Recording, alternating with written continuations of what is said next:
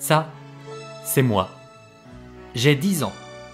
Je suis grassouillet. Là, je regarde la télé. Là, je suis en maillot de bain.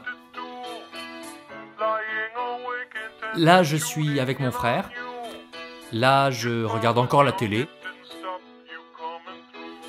Ça, c'est notre maison. Ça, c'est la voiture de papa. Ça, c'est la voiture de maman. Et ça, c'est notre chien.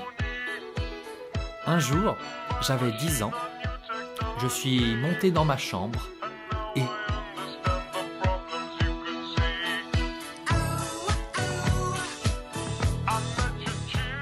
Et ça, vraiment, c'est le début, le milieu et la fin.